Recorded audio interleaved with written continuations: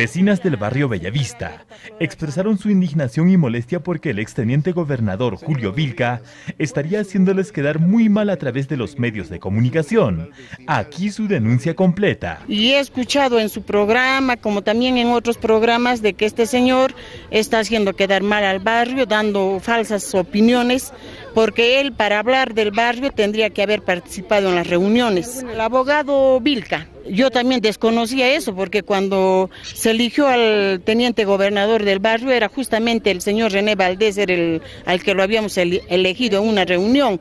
Pero después nos enteramos que estos cargos son solamente duran un año y razón por la que al señor Vilca lo habían elegido será el anterior presidente, ya que él esté hablando en contra de, nuestro barrio, porque él, él, al referirse al presidente del barrio, del patronato, se está refiriendo a nuestro barrio y sus apreciaciones están fuera de lugar porque el señor nunca participa de las reuniones y yo no sé cómo sabe tantas cosas que ni siquiera son ciertas para él ir a las emisoras a los y criticar. Yo creo que para criticar tendría que ser una persona que esté constante en la reunión y no se le ve pues. Sí, ahora el no participa.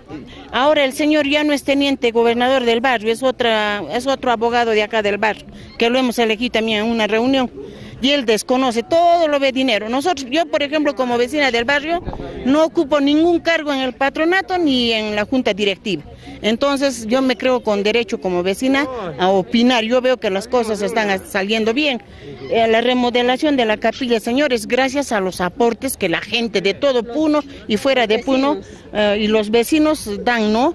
Y no sé cómo el señor puede decir qué están haciendo con el dinero. Si los vecinos estamos cerca, sabemos. El señor, nosotros no lo hemos elegido más antes para su cargo.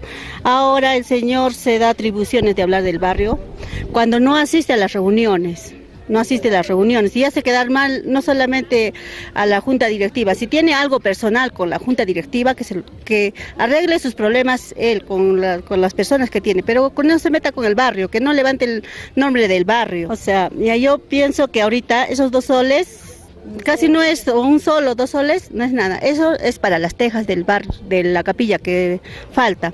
Se ha acordado eso.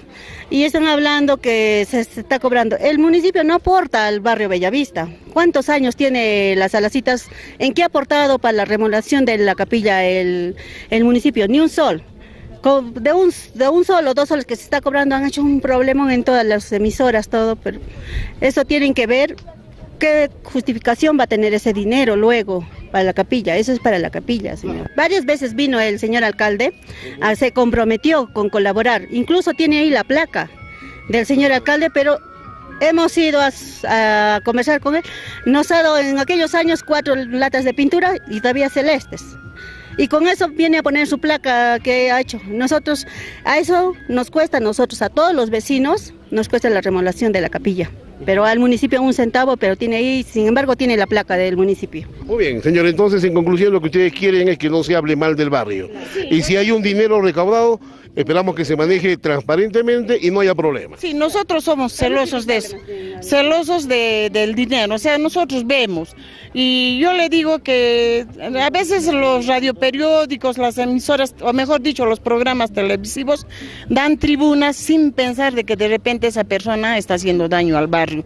O sea, ya yo supongo que va a haber una reunión y vamos a ver esto, porque no vamos a permitir que una sola persona o dos quieran hacer daño al barrio. Como vecina yo veo que las cosas están yendo bien. Y esta capilla, como dice la señora, es gracias a los vecinos, a los exalferados y a todas las personas que concurren a esta capilla a dejar. Con esos dineros se está, pero el consejo nada, señora pasa, nada, absolutamente nada. Ellos venden todo y el sol que han dado ha sido reunión en reunión ya, ya y ese dinero tiene su boletaje, o sea, las cosas me parece que están saliendo bien, solo que hay personas que no están bien enteradas, dolidas, no sé por qué, tratan de hacer quedar mal al barrio.